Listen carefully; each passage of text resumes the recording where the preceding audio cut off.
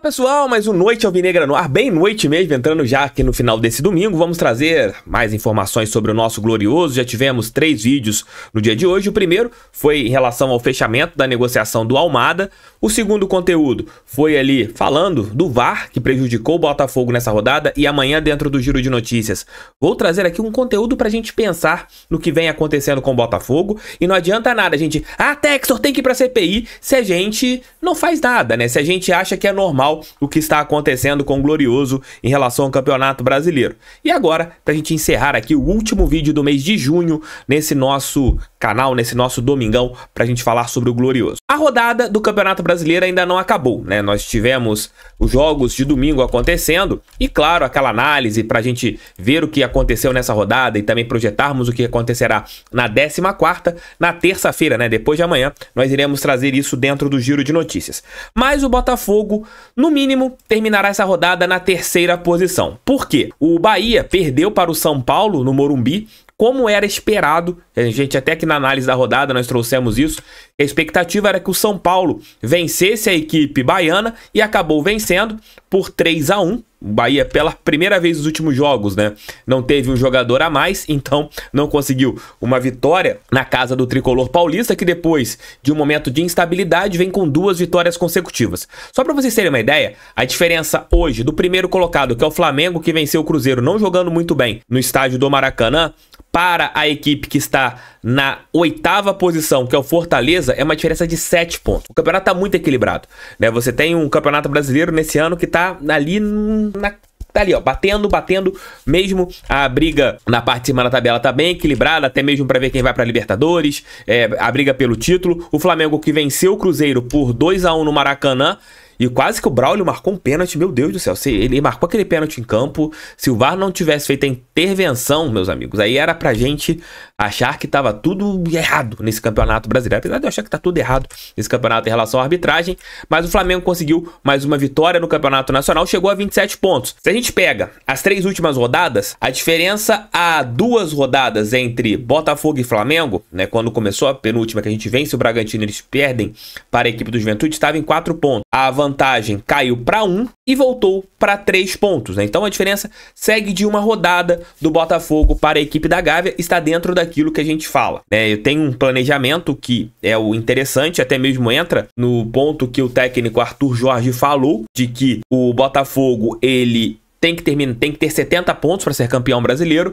E o aproveitamento que nós temos hoje, que é ali de 61%, se a gente conseguir mantê-lo até o final do turno, a gente bate ali 35, 36 pontos, que é a pontuação que, na minha visão, é a ideal para a gente sonhar com o título brasileiro. Se a gente tiver menos pontos ali, entre 30 e 35, aí é para a gente pensar apenas em G6, G4, focarmos nas competições de mata-mata. Mas estamos no bolo, mesmo com tudo que aconteceu. Botafogo só pode ser ultrapassado nessa rodada pela equipe do Palmeiras caso o Alviverde vença amanhã o clássico contra a equipe do Corinthians. Clássico que acontecerá amanhã no Allianz Parque. O Palmeiras é franco favorito, até mesmo por tudo que vem sendo colocado é, no Campeonato Brasileiro pela equipe palmeirense e também pela equipe corintiana, né, por todos esses pormenores que nós temos hoje, né, em relação às suas qualidades, em relação ao que eles têm feito jogando futebol. E se a gente pega isso, o Botafogo hoje, ele tem tudo para conseguir, é, talvez se manter ali na terceira posição. Acho que é o mínimo, que eu ac acredito que o Palmeiras vença o Corinthians, espero estar errado, mas se não acontecer, o Botafogo, mesmo com o empate ontem em São Januário, que não foi um bom resultado, pelo momento, Cruz Maltini, até mesmo por a gente ter aberto o placar, podemos até mesmo subir uma posição nesse campeonato brasileiro. E o Bahia, que terminou a última rodada na vice-liderança com a mesma quantidade de pontos que o Flamengo, pode terminar a rodada ali com 24. 24 pontos é, em quarto lugar, né? Então, o Campeonato Brasileiro muito, muito equilibrado. O importante é o Botafogo continuar pontuando. Na próxima rodada, jogo fora de casa contra o Cuiabá É importante vencer, tentar fazer ali três pontos fora de casa, que são nesses jogos que você é, mostra que quer ser campeão, vencendo jogos é, fora da sua casa, dentro de casa, pontuar sempre. O Botafogo tem que perder menos pontos dentro do estádio Newton Santos. E assim, é ficar no bolo. É, o campeonato não acaba agora, a gente sabe muito bem como que é isso. Não adianta você liderar agora e não ganhar o título nacional. O Botafogo tem que continuar ali lutando pelo título, brigando na parte de cima, mostrando que tem força, mostrando que quer ser campeão brasileiro. Eu acredito que com os reforços que chegarão, o Botafogo pode ser campeão brasileiro. Amigos, fica aqui uma diquinha da nossa parceira Golcase. Se você quiser uma garrafinha como essa aqui, ó, nosso glorioso, você pode encontrar na Golcase. Uma capinha como essa aqui, vocês podendo ver aqui, ó, são alusivas a nova camisa do Botafogo, a camisa que foi eleita mais bonita do mundo, você pode encontrar na Golcase. Eu vou deixar tanto no primeiro comentário e na nossa descrição os links para você entrar na GoCase, tem vários produtos do Glorioso. Você pode usar meu cupom canal do TF ter 5% de desconto em relação às capinhas. Você comprando duas, ganha mais duas. Tem para diversos modelos. Entrem lá, vocês vão curtir bastante. Link tanto no primeiro comentário na descrição e tá aqui o QR Code.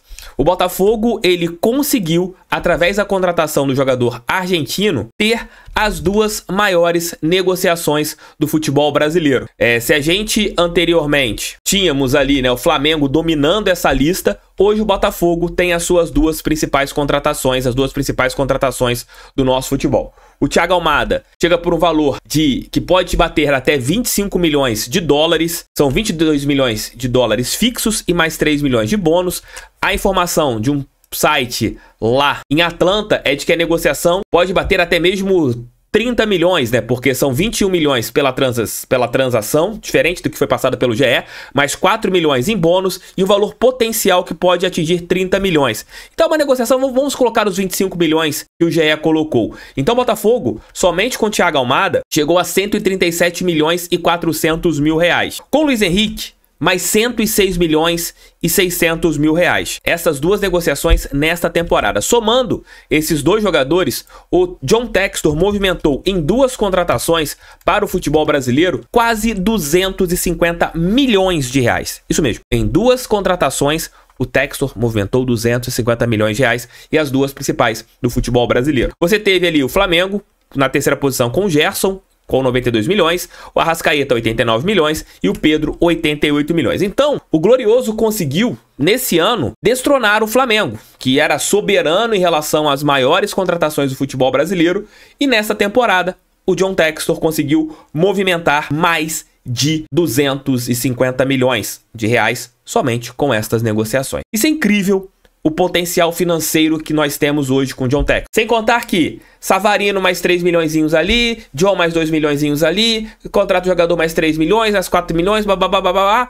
Vejam o que o Botafogo conseguiu nesta temporada. É sua terceira temporada com a SAF. E a tendência é que isso aumente mais. Hoje você já vê rivais falando: olha, o fair play financeiro. Isso que o Texas está fazendo errado, hein? Trazer jogadores aqui utilizando dinheiro de outros clubes para o Botafogo. O Botafogo ficar com o jogador seis meses, um ano e depois ir embora. Isso tá errado, hein? A chiadeira tá começando em relação a isso. Mas vamos fazer o quê? Durante anos, o Botafogo via todo mundo contratando e não tinha poder de compra. Hoje nós temos. Se nós, através da Eagle Football, se eles encaram algum jogador que pode ficar um tempo no Botafogo, pode jogar um campeonato, pode jogar dois campeonatos, pode jogar três campeonatos e ser importante depois ir para a Europa, beleza, podem contratar, podem continuar é, fazendo essas negociações para o nosso clube. E é assim que funciona. Hoje, graças ao trabalho da Eagle Football, como mandada pelo John Textor, o Glorioso tem muito poder de investimento. E um dia eu fui pobre, não me lembro mais. Tamo junto, gente. Beijo, tchau, tchau. Fiquem com Deus. Volto às 5 da manhã com o nosso giro de notícias. Amanhã o dia promete, hein? Amanhã, festa de 130 anos do Botafogo. Então é um dia que promete anúncios de contratações. De repente, amanhã, Thiago Almada, Alain, Igor Jesus, esses jogadores sejam anunciados pelo nosso glorioso. De repente, não. A tendência é essa. Valeu, gente. Beijo, tchau, tchau. Fui, fica com Deus. Fogo neles. Pra cima deles, fogão, sempre fogão. Eternamente Botafogo de futebol regatas. Valeu, fui.